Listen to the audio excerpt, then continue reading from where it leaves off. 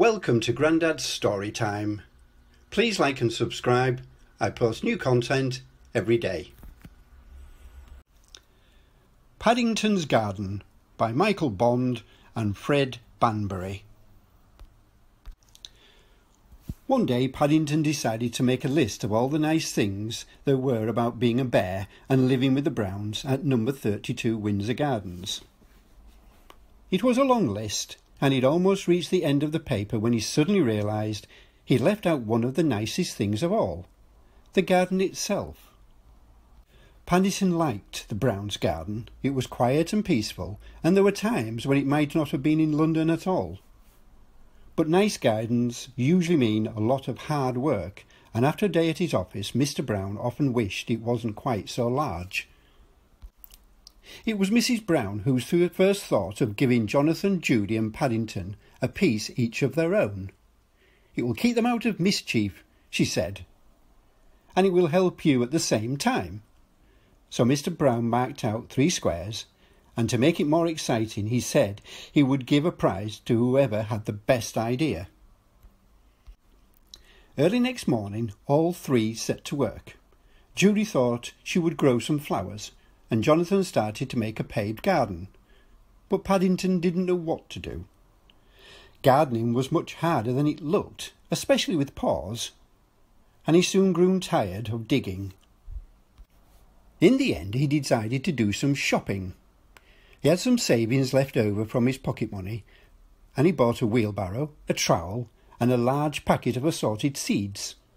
It seemed very good value indeed, especially as he still had two pence left over.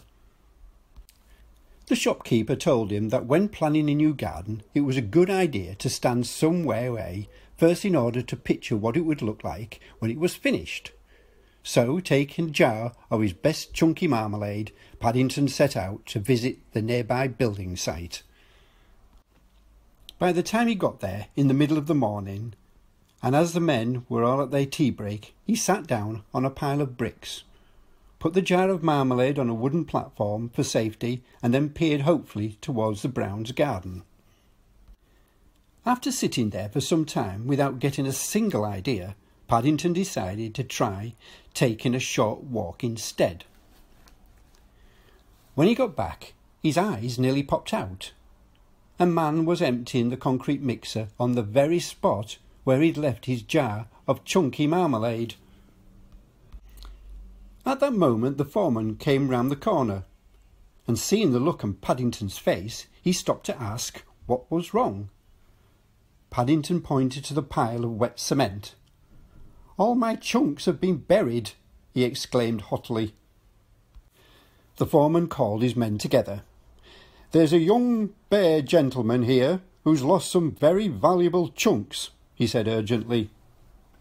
They set to work clearing the cement. Soon the ground was covered with small piles. But still there was no sign of Paddington's jar. Suddenly there was a whirring sound from somewhere overhead, and to Paddington's surprise, a platform landed at his feet. My marmalade! he exclaimed thankfully. Your marmalade? echoed the foreman, staring at the jar. Did you say marmalade? That's right, said Paddington. I put it there ready for my tea break. It must have been taken up by mistake. It was the foreman's turn to look, as if he could hardly believe his eyes. That special quick drying cement, he wailed, is probably going to be rock hard already, ruined by a bear's marmalade. No one will give me two pence for it now. Paddington opened his suitcase and felt into his secret compartment. I will, he said eagerly. Paddington took the lumps of concrete home in his wheelbarrow and worked hard in his garden for the rest of the day.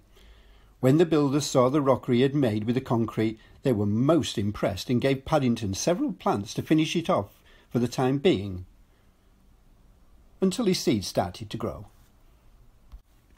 Paddington's rockery fitted so well with Jonathan's paved garden and Judy's flower bed, it looked as if though the whole thing had been planned. Mr. Brown was so pleased he decided to give them all extra week's pocket money, and that evening they celebrated by giving tea in the new garden. After it was over, Paddington stayed on for a while in order to finish off his list of all the nice things that were being a bear and living at number 32 Windsor Gardens. He had one more um, important item to add. My rockery.